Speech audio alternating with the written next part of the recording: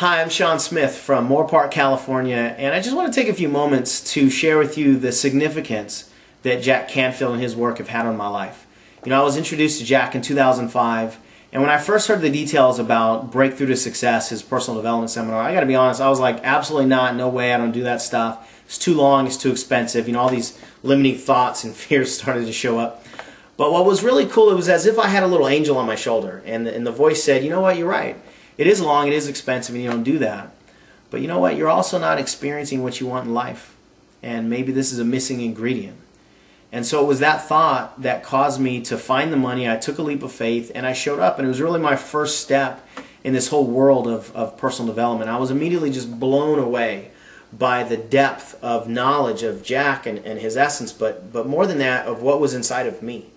You know, I had something inside of me that was just raging to get out for the longest time, and Jack helped. Jack helped me release that. You know, he introduced me to myself for the first time in a, in a long, long time, and my life was immediately transformed.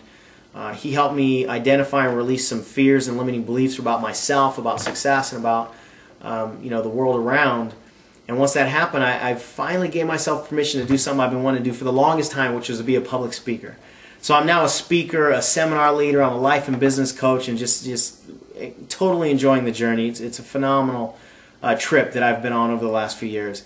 And Jack also helped me break my personal attachment to money. And what I found is that once you can break your attachment to money, it's really not that hard to make. You know, my wife and I started a speaking and coaching business from scratch after BTS. And in a little over three years, we earned, you know, well over $700,000.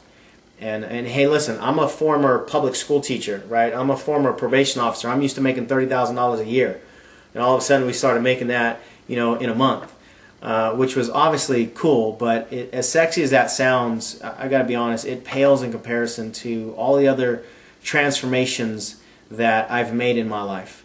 And probably the smartest thing that I've done over the last few years of my life is I've stayed plugged in to Jack and his message, you know, because I've learned that you can make a decision to change your life in an instant, but you'll spend the rest of your life changing your life because you're constantly going to be growing and constantly going to be evolving.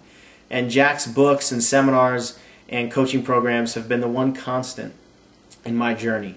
And I'll tell you, my relationship with my wife is, is at an all time high.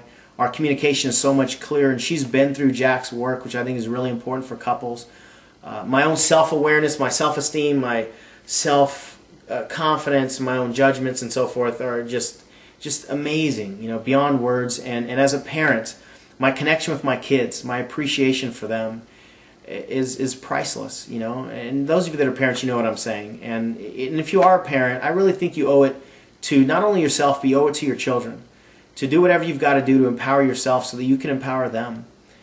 So I don't know what your circumstances are in life. I don't know what you're looking for. I don't know what your details are. But if you have the opportunity to be in Jack's space, do whatever you can to get there because he will help you get in touch with whatever internal resources you know you need to get in touch with and clear whatever blocks you need to clear away so that you can be, do, and have anything that you want in life.